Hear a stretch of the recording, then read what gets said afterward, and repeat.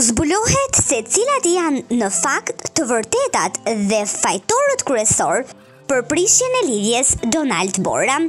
Mos më thoni që Triksa nuk ka faj, sepse mos të harrojmë që Beatrixa ishte mikja e Borës dhe e dinte shumë mirë se çfarë kishte ndodhur jashtë mes Donaldit dhe Borës, se ajo ish shprehur që do ta priste.